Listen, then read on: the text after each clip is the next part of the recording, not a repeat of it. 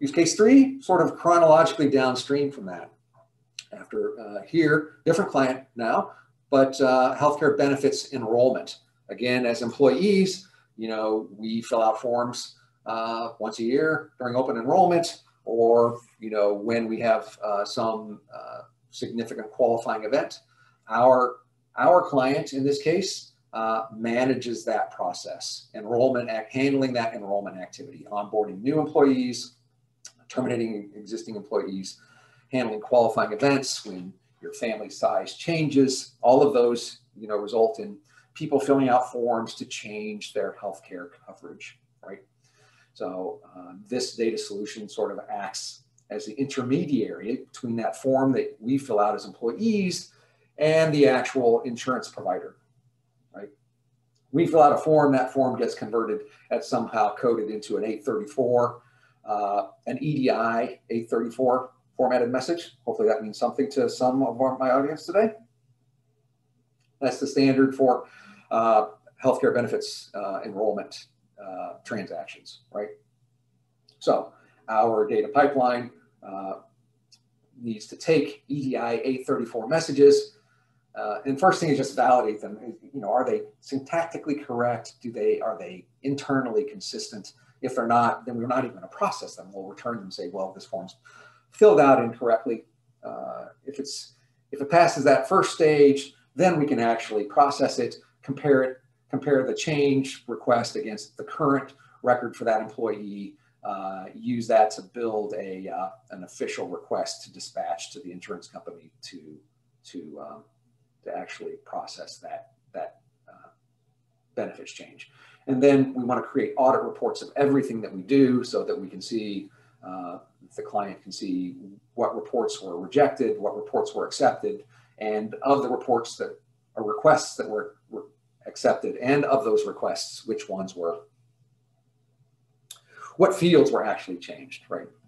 So couple of snapshots into various parts of this particular case.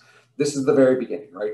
834 messages come in. The first thing we need to do is really just check them to see if they're even worthy of being processed, right?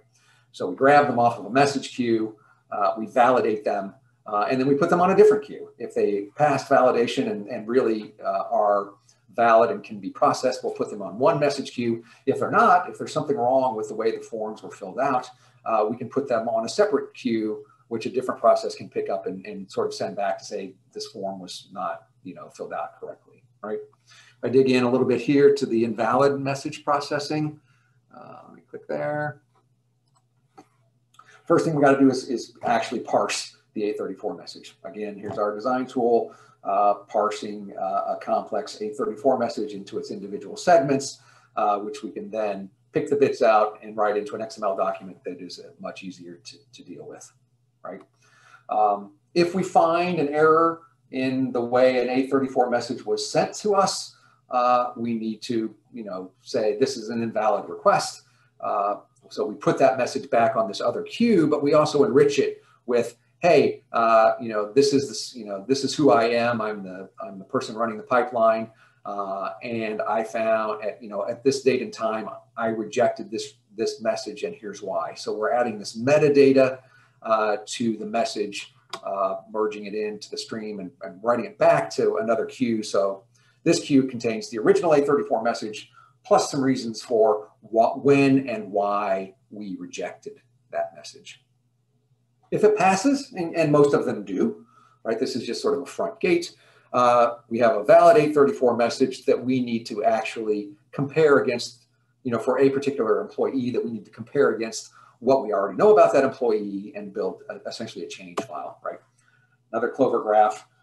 Again, just to give you a taste of, of what these pipelines can look like in complexity, all these yellow boxes across the top are taking the incoming request, comparing it to what we already know about the employee. He's on the gold plan, he's got uh, a wife and two kids, and this is the request he's making. Um, we run through a whole series. You can see uh, uh, 25, rule 25, 27, lots of different rules here that get processed in sequence to say, you know, are we adding a, is he adding a, uh, uh, dependent? And if so, is that dependent under 26? And is there a primary care physician set for it, or is that required? All of those steps that need to be processed uh, to make sure that this is going to be an acceptable uh, benefits change. Uh, and the artifacts that come out of this are often change files, XSLT in this case, that can then be applied, uh, provided to the insurance company as say, hey, this client's policy has changed in the following, or request for benefits has changed in the following way. It's a very detailed pipeline here for managing, uh, automating the management of these uh, benefits change uh, requests.